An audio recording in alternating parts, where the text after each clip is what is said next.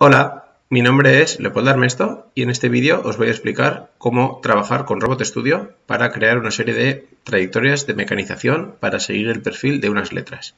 Bien, lo primero que todo es, eh, voy a crear una solución con una estación y un controlador virtual. Eh, en concreto he seleccionado el modelo del robot el IRB140, como podéis observar. El robotware, el software es la versión 6. Voy aquí a cambiarle eh, el nombre de la solución, letras UPV, que es lo que vamos a hacer, le voy a dar a crear porque esto tarda un tiempo. ¿Vale? Bien, mientras, mientras se va creando la, solución, os acabo de explicar un poco el, objetivo del, vídeo. Eh, la idea es que utilizando una herramienta que tiene un aspecto como, una, como si fuera una fresa, eh, el objetivo es eh, poder generar el código de Rapid de forma que podamos controlar el robot IRB140, aquí lo tenéis, siguiendo el perfil de las letras, de una serie de letras eh, que pone UPV, ¿vale? Bien, entonces, eh, como podéis ver, he seleccionado la primera de las opciones que me aparecía cuando me lo ha preguntado y ya tenemos nuestro robot. El siguiente paso que tenemos que hacer es incorporar la herramienta. Entonces, esto lo hacemos desde lo que es la biblioteca de, de, de modelos que tiene o que incorpora Robot Studio y dentro del equipamiento, pues tenemos aquí abajo del todo un objeto de entrenamiento que se llama MyTool. ¿vale? Es un objeto bastante conveniente por las dimensiones que tiene eh, con respecto al robot. ¿vale? Y está eh, aquí en la pestaña de diseño, vemos que está ahí, aquí. Está oculto ahora mismo, nos parece como que no se ve porque está el robot tapándolo.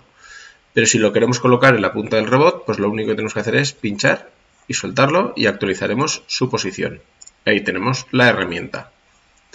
¿Vale? El siguiente paso que haremos será importar las letras que vamos a mecanizar o que vamos a realizar una serie de trayectorias sobre ellas. Entonces vamos a irnos a importar geometría y vamos a ir eh, a, utilizar un fichero que os dejo en la descripción del vídeo que se llama upv.sat.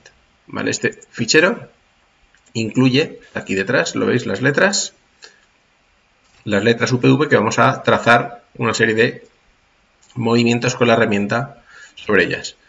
Como veis no está bien posicionado ni orientado, entonces si le doy al botón derecho, posición, girar, voy a girar 90 grados con respecto X para poder hacer eh, un giro de las letras, ahí lo tenemos, y ahora lo vamos a hacer es con respecto al mundo, ¿vale? El sistema, esto es respecto al mundo, ¿vale? Correcto. Entonces aquí es menos 90 grados de Z y ahora las tenemos orientadas así.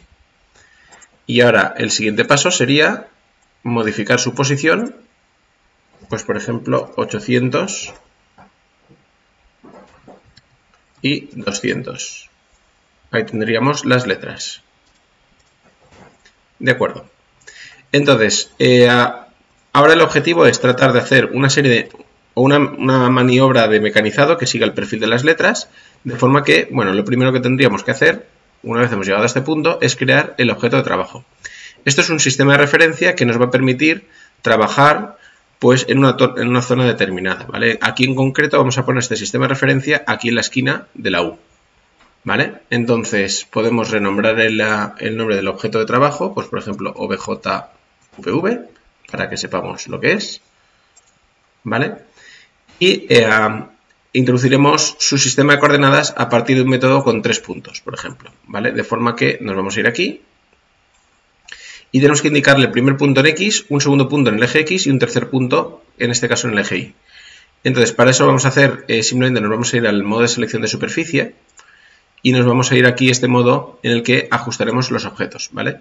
De forma que eh, ponemos como primer punto este punto de la esquina de aquí. Como segundo punto, por ejemplo, este punto de aquí. Y como eh, punto del eje Y ponemos este punto de aquí. Con esto aceptamos y creamos. Ya tenemos nuestro sistema de referencia del objeto de trabajo. Y como podéis observar, ha cambiado aquí al objeto de trabajo como corresponde. ¿Vale? Con lo que ahora todo lo que hagamos, en principio, será sobre este objeto de trabajo. Bien, ahora el siguiente paso es el un poco más tedioso porque lo que vamos a tener que hacer es dibujar o, crear una serie de eh, puntos objetivo a los que el robot eh, tiene que los, que el robot tiene que alcanzar para luego poder generar la trayectoria. ¿vale? Entonces esto lo haremos con la opción de crear punto, aquí, ¿vale? La idea es la siguiente. Mirad, en el primer punto será un punto de aproximación, en realidad unos 20 milímetros por encima, con lo que aquí yo lo que haría es, en referencia siempre vamos a trabajar con respecto al objeto de trabajo, que es este sistema de referencia que veis aquí. Entonces, eh, tenemos que crear un punto a 20 milímetros. Pues lo que vamos a hacer es, pinchamos justo sobre la esquina, nos ha creado el punto que está en 0, 0, 0, pero lo vamos a modificar para que ponga menos 20 milímetros y ahí tenemos el punto arriba. Ahora, para crear otro nuevo punto, nos vamos aquí a añadir punto y vamos pinchando aquí en las diferentes esquinas y elementos de interés, ¿vale? Siempre fijaos bien en las coordenadas que sean las correctas porque puede que eh, a veces no seleccionéis el punto como corresponda y que, y que pinche un, punto del suelo. ¿Vale? Ahí tenemos otro. Aquí para las zonas eh, curvas vamos a poner un punto en medio y otro punto al final.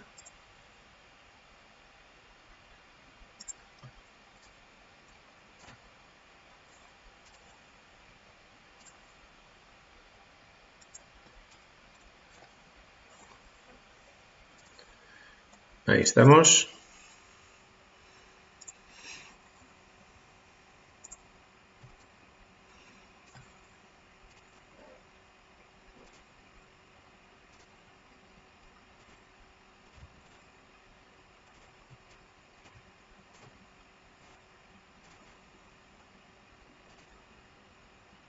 Vale, y para, y para finalizar, acabaremos en la esquina y volverá a darle otro clic para crear otro nuevo punto en el que este otra vez de nuevo, mira, a ver, este ha salido mal y este también. Entonces vamos a deshacer y entonces un punto en la esquina es correcto y ahora un nuevo punto, de nuevo exactamente en el mismo sitio, pero 20 milímetros arriba. Ahí está, ¿vale? Con lo que hemos hecho la maniobra de aproximación toda la trayectoria y la maniobra de evacuación. Vamos a hacer lo mismo con la otra letra, que es la letra P. Nos vamos a poner aquí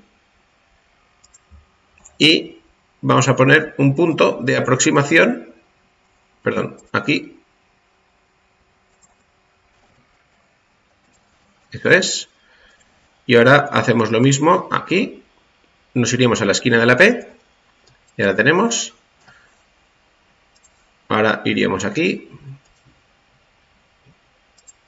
Fijaos bien siempre las coordenadas que va introduciendo de forma interactiva porque a veces puede que no sean las correctas. Entonces el momento de corregirlo es mejor ahora.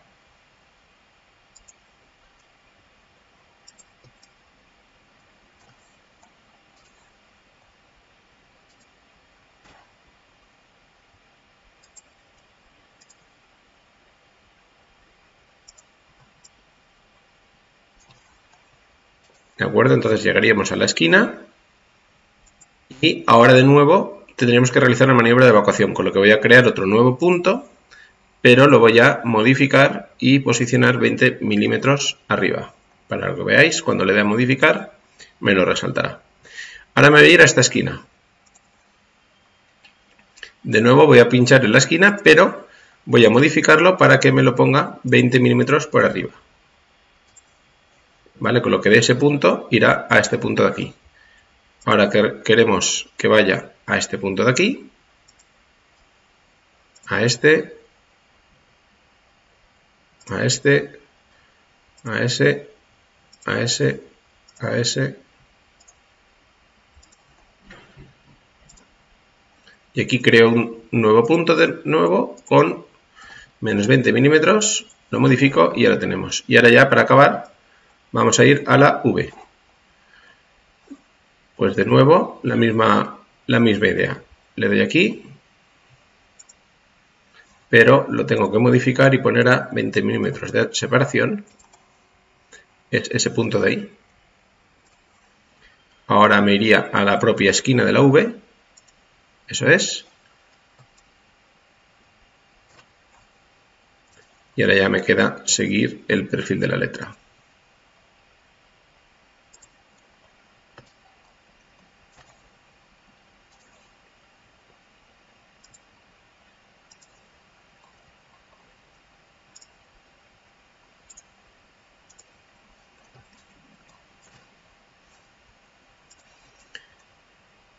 Bien, pues acabaría creando este punto y el último punto sería este de nuevo, pero 20 milímetros arriba. Eso es. Y con todo esto tengo una lista de puntos que creo y al final me ha creado, aquí como podéis observar, voy a cerrar esto, me ha creado sobre el objeto de trabajo, me ha creado una serie de targets. ¿Lo veis ahí? Que pertenecen pues a una serie de puntos objetivo de interés que quiero, perdón,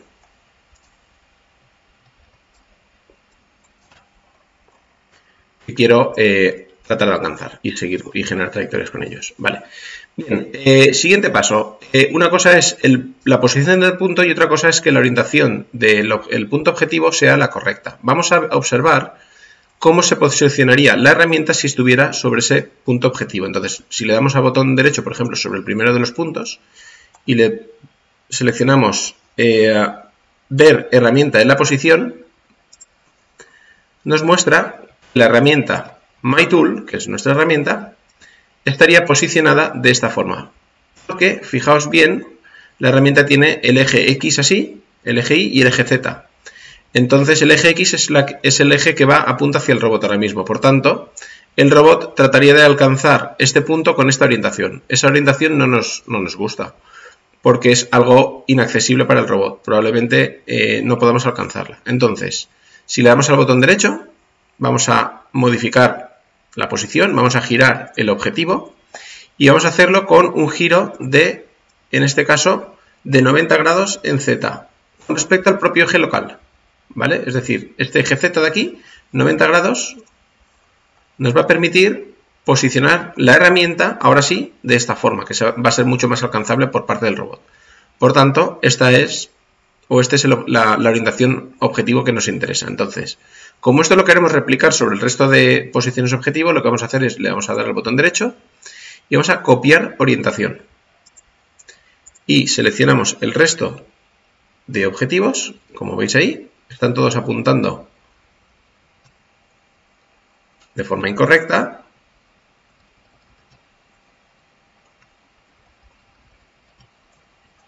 Y le voy a dar al botón derecho y le voy a poner aplicar orientación y veréis cómo cambian las orientaciones de todas las herramientas. Ahora sí, ¿vale? Entonces, con todo esto, eh, podemos quitar ya la opción de ver herramienta en posición. Eh, ¿De acuerdo? Entonces, ahora el siguiente paso será crear la trayectoria con los, las posiciones objetivos. Entonces, vamos a utilizar una plantilla de movimiento, que es esta que veis aquí. Eh, por defecto vamos a utilizar la, instrucción MoveL Vamos a poner que por defecto, que va a ser la mayoría de las instrucciones, que vaya a una velocidad lenta y que tenga eh, un punto, en este caso, de paso, pero con una precisión muy fina, ¿vale? Es decir, va a tratar de alcanzar el punto, pero realmente no va a parar el robot. Por tanto, vamos a ponerle Z0. MyTool y el Working Object, el, el OBJPV, todo esto se queda como está. Entonces, vamos a crear, vamos a seleccionar de nuevo todos los objetivos que tenemos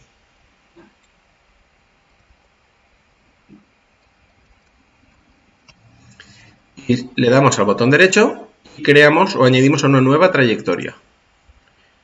Y esto lo que nos ha hecho es que nos ha generado aquí abajo, en la carpeta de trayectorias y procedimientos, nos ha, nos ha creado una nueva trayectoria con un montón de instrucciones MoveL, como hemos puesto, y, ahora veremos, bueno, pues que tienen, eh, por defecto, eh, tienen esta configuración que hemos seleccionado. ¿Vale? Vamos a modificar el nombre de la trayectoria, vamos a llamarle path, eh, vamos a ponerle UPV, y así la podremos identificar. Bien, esta trayectoria la veis aquí en amarillo, ¿vale? Está hecho todo a base de instrucciones MoveL, pero sí que es cierto que la primera, la primera instrucción de todas, la que nos va a llevar a este punto de aquí, nos suele interesar que sea una instrucción MoveJ. Además, las instrucciones de aproximación y evacuación las vamos a hacer no a 50 milímetros por segundo, sino vamos a hacer a 100 milímetros por segundo. Y además nos vamos a asegurar en la maniobra de aproximación cuando bajamos que al final del todo paramos para poder empezar realmente a, realizar la trayectoria de mecanizado. Y luego las trayectorias que van desde el punto de evacuación hasta el siguiente punto de aproximación las vamos a hacer en este caso a una velocidad, pues, por ejemplo, de 300 y con una precisión de Z5 porque no necesariamente tiene que pasar por el punto que le hemos indicado. ¿vale? Entonces, por ejemplo, esto lo que nos implica es que vamos a modificar la, instrucción y vamos a modificar, editar la instrucción. Esta primera instrucción, como he dicho, va a ser una instrucción que es mucho más rápida, de movimiento no lineal eh, por, eje, de forma que vamos a ir a 300 de velocidad, por ejemplo, y con una precisión de 5. Esa es la primera de las instrucciones que nos llevará aproximadamente a este punto de aquí. Después, esta de aquí, que es una, trayectoria de aproximación, la vamos a hacer a velocidad 100,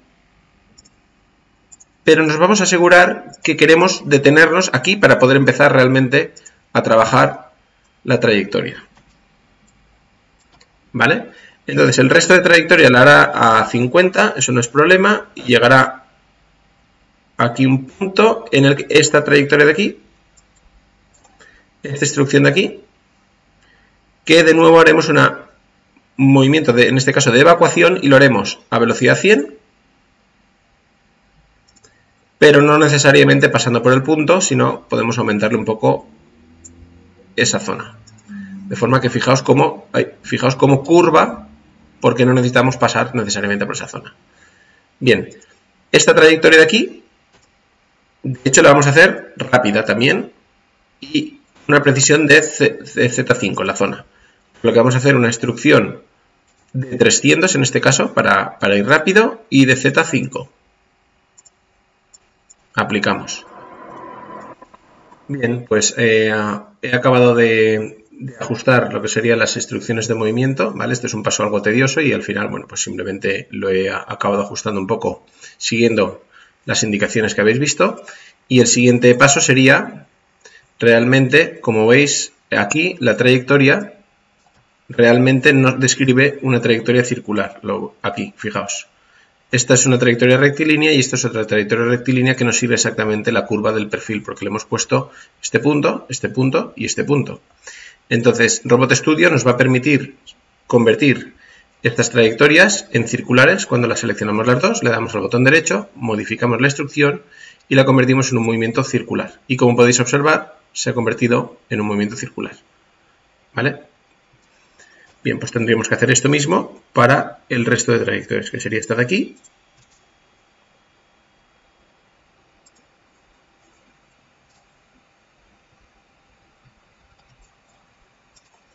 Esta de aquí.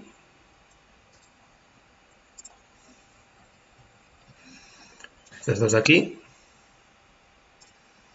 Vale, tendríamos esto. Y ya nos tendríamos que ir pues por aquí.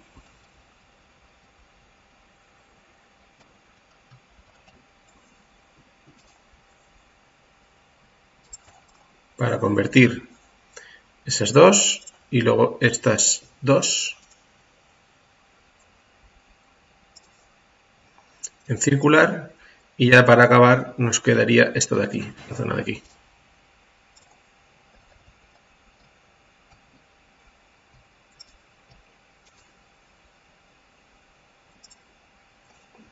Bien, ya tendríamos todas las trayectorias circulares que necesitamos. Vale.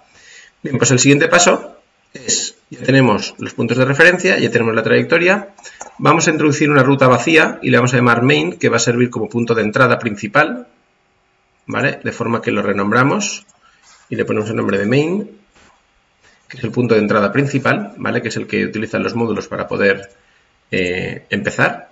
¿vale? De forma que, eh, bueno, pues simplemente en esta de aquí vamos a insertar una llamada a PathUPV para que desde main llame a PathUPV y haga toda la trayectoria correspondiente. Bien, una vez tenemos esto, ahora lo que podríamos hacer es deshabilitar eh, los targets, eh, bueno, todos, perdón,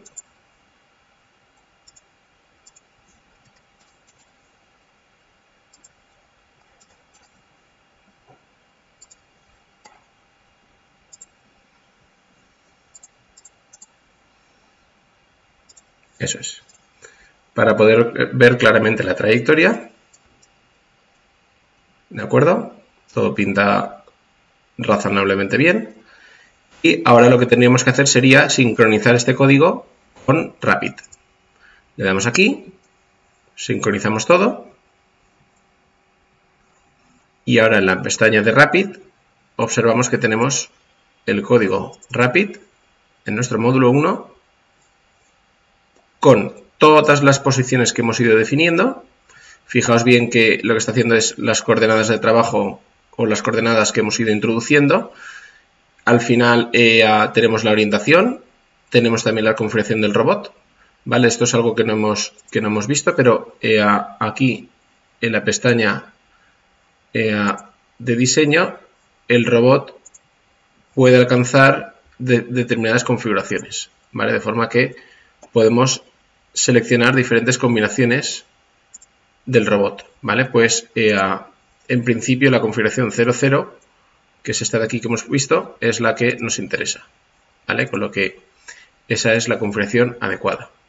Y luego eh, esto es porque no tenemos control de eje externo ninguno. Bueno, pues tenemos todos los, targets que hemos definido del tipo rob target y tenemos la instrucción o, el procedimiento main que llama a path UPV y aquí genera todas las instrucciones de movimiento move L, move correspondientes a las velocidades que hemos indicado y con el objeto de trabajo o con respecto al objeto de trabajo UPV.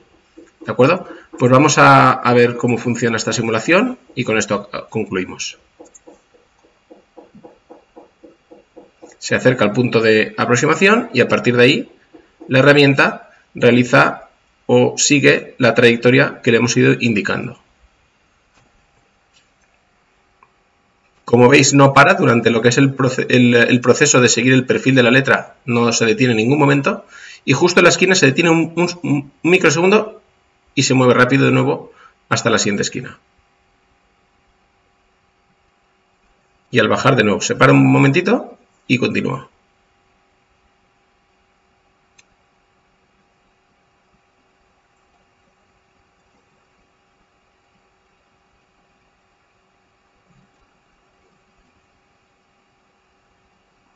Pues ahí lo tenéis, ya está finalizando.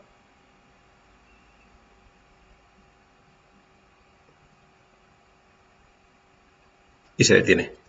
De acuerdo, pues muchas gracias.